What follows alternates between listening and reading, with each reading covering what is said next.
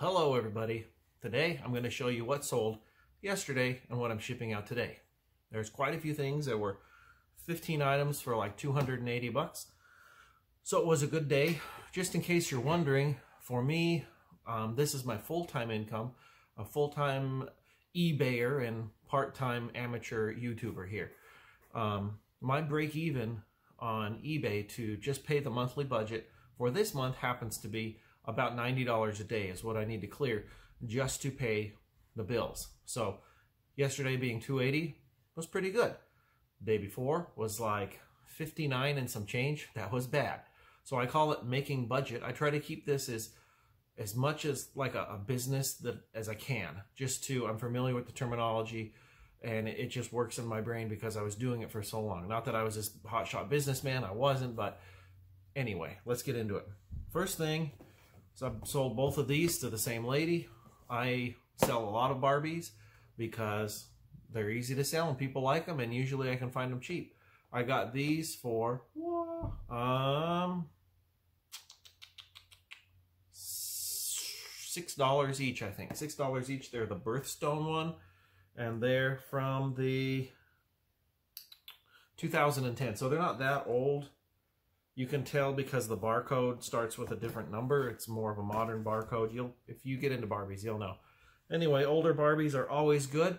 Tip on, wow, poofy head. Tip on uh, Barbies, if the box is not in good condition, like that one there, make sure you take pictures of it and tell them about it in your description. So that'll go out. This probably, because I ship these in a box, the, the older Barbies, um, it'll go priority, pirate ship, you know the deal. Next thing I got for free from my wife. My wife sells the, the Kelly dolls, which is the younger sister of Barbie, but she got one of these in one of the lots she ordered. Don't know what it is, don't care, but I sold it for $12. Got it for free. Next thing, oh, I didn't pull that, so we'll skip that. This thing, got it for 50 cents. This was actually the first thing, just to tell you, it's 2021 right now. I bought this in summer of 19, 2019. That's how long I've had this item. I don't care because it just sits and it doesn't bother me. It doesn't wake up and scream at me for, for milk or anything. It just sat in its little tote, bought it for 50 cents and sold it for $11. So, you've got the space. I don't mind holding on to stuff. Now, I hope that I've, I've given you guys tips. I will, of course, continue to give you guys tips on finding free things or very low-cost things and also obscure things to sell. Some people will only sell one category. That's fine. I'll sell everything and anything. I don't care if there's money to be made in it. I'll try to learn about it and I'll sell it. So going into that, I, I have these. These are UA cups. My former employee, they used to have to perform UAs. It's when you pee in the cup. Um, the company came out and said they didn't need to anymore, and we had about eight cases of these, and ooh, I want to say the cases had a couple hundred. I can't see from here, but I had four cases. I'm down to two, and I sell them for about a dollar each. It's about $12 for 12 of them. They ship in one of these guys, a big bubble mailer. If you just squeeze the air out, they'll all fit and they ship first class. So always be on the lookout. Let people know. I'm Mr. Shy Pants. I didn't tell anybody what I do. Now I'm starting to tell them what I do, and you get leads like this. Um, in fact, the way I, one of the ways I found a bunch of other stuff was my boss had told me to clean out the storage room. He was the newer boss, and he said, "You sell stuff on eBay. Why don't you go take whatever you want that we don't need. Just run it by me first. If you want it, you can have it. Sell it on eBay. Just get it out of the out of the storage room. So that's what I did, and I've sold quite a few things from that. It's all free. It just takes your back and your mouth to let people know what you're doing. Ah, the next thing is, of course, my favorite. You know, uh, another Barbie. This is an older one. If you can tell the barcode, See how it says 0742? That means that that's older. It's not like really, really old, but it's not a modern one. And I'm no expert, but see 97. So I don't know when the cutoff is. But for example, if I also sold this, this is the one I picked up yesterday. It's in the video from yesterday. Um, that's actually a, a 742 also. So that's a little older. But you look at this Barbie. This is from 2010. That's a 746, and I I wish I had a more modern Barbie around here to show you. I think the modern Barbies are 746. So, or you could just look at the year. I don't know why I'm overcomplicating it, but this big girl sold for 26, free shipping, of course. I do not charge for shipping. Um, next thing, I sold this. You know I'm a big fan of the the vintage glassware. This is a Corningware. It does, it sold for, yeah, $27 free ship, and it does have a chip, which I included in the description, and this will cost no more than $10 to ship on the Pirate Ship. No, I'm not affiliated, but Pirate Ship, if you want to pay me, let me know. I don't care. Uh, 50 cent totem pole right here from Canada. It's that brand, Boma. Everyone walk past this. That's the aisle I like to go to when kind of like my last resort. I haven't found much.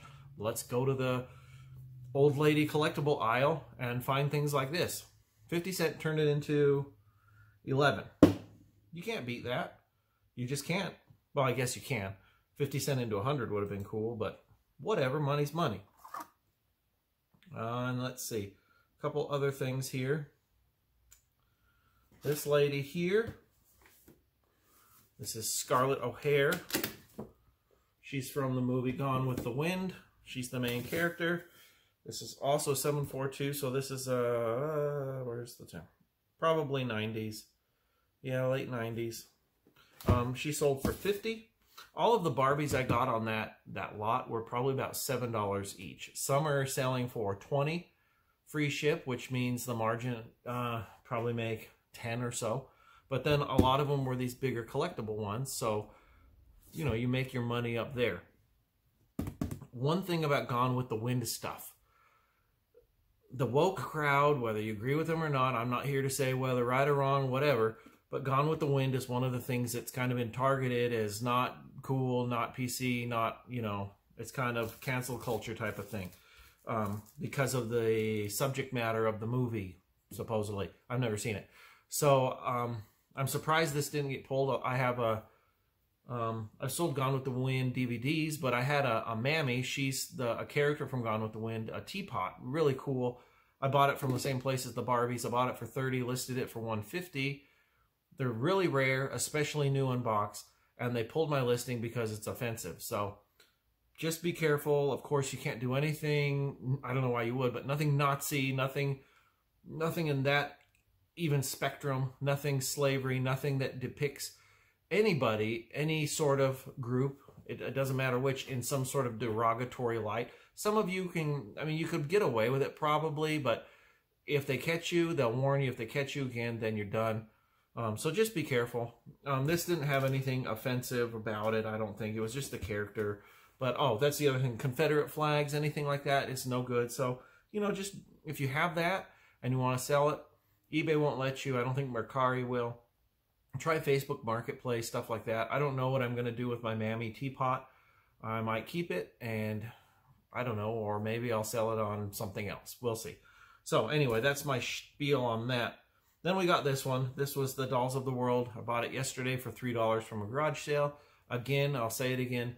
It's worn there and it's got some damage there on that corner. Both had their own pictures with close-ups and brightened the picture so they could see exactly. Because if you think this is new unboxing, you get it and you go, what in the heck is this crap? This is not good for my collection. But if you know it, and of course I um, reduced the price by about 10 bucks from the solds. Last thing, um, I have a, what is it? A Dyne uh, label, rate, the label writer 4XL, the Dymo label printer basically. And when I first ran out of labels, I needed new labels, and I ordered these by mistake, like a dumbbell. So I have six of these. Um, I hate returning things. So I just took what I had and listed them, and they sold uh, these two for $12. So they, oh wait, hello. Oh, there's more stuff that's sold that I haven't pulled yet. All right. I guess I won't bore you with that stuff. I'll just show you this last thing because this was pretty cool.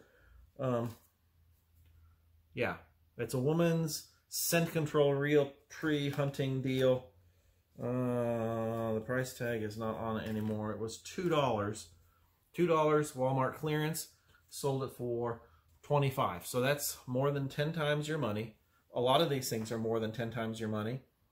Um, or better because I got them for free. Um, I bought, they put these out, you know, the entrance to Walmart, they were closing them out and I bought all of them. I bought the the camo shirts that are like bug control. I bought these. I bought the vests. I bought everything because the most expensive things were the men's version of this was four. And I spent like, I don't know, a $100 or so and I bought them all. And they just sit right over there in a little tote, minding their own business. And I sell them every once in a while. And if you know, you're going to see in an upcoming video another thing I got from the thrift store. But I'm a big fan, like, like these things that I got yesterday. A big fan of buying in bulk and having one listing just making it rain on me. I'm not getting rich from selling canning wax, but I have canning wax, I have the hunting clothes, I have these things that are one listing, and ching, ching, ching, ching, ching, ching. ching. You get a bunch of those. It's sweet. It's really sweet to just have one listing make you money until it sells out. So I am I'm telling you this and I'm harping on this because I was someone who was really scared of two years ago I would have found this deal on the hunting stuff and I would have said, well, okay, I'll just buy one of each because what if they don't sell and then I'll be stuck with them? Stupid. Over and over I've gone over the scarcity mindset. I've gone over this in the video with eBay addicts. My wife didn't, I don't know if she got it or not, but I, I, I explained it to her. I kind of lectured people like I'm lecturing you. But for you people out there, especially the ladies, when you're dating and there was some guy, there's always that guy, I was probably one of them, that was always on your grill, always being nice to you, super nice, following around, holding your books, whatever the hell, just wouldn't leave you alone. Little sad puppy dog. Did you like him? Hmm, you didn't because he need he was too needy. He wanted it too much. You didn't like that guy, right? I don't know if it's God or the universe or the eBay spirits, but if you try to force things, it's not going to happen. For example, yesterday, this might be another video, but yesterday or the day before, no sales. Um, did I quit? No. I just listed and listed and listed. And if I ever figure out how to show you my graph while I'm in the video, besides pulling the stupid camera setup around, like all the cool YouTubers do, then someday I will show you. But it was actually on Tuesday was a $49 day.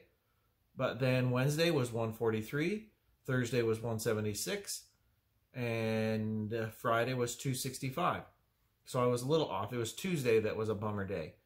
So Tuesday, I don't know why it was a bummer day. Maybe nobody wanted to shop on Tuesday. Maybe there was a glitch. Who cares? I just still continued to execute. Today we're only at 87, but it's still 130 my time. So we still have time. And it all averages out, so I'm not worried because my seven day average is good, my 31 day average is good, and we're still going to do it. And even if it's not, it doesn't matter. We're going to make a, a way to make this work because I'm not going to go back and work for the man. Hell no. It's I'm having way too much time with my family.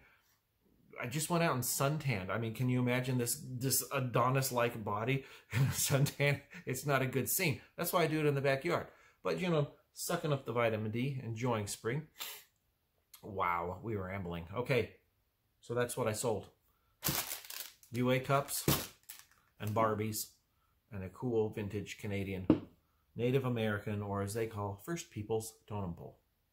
Well, I guess that's it. Thanks for watching.